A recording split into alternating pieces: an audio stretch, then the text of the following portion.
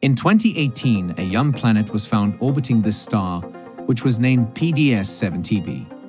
This planet is so young that it is still inside its star's dusty disk, and it is still in the process of making.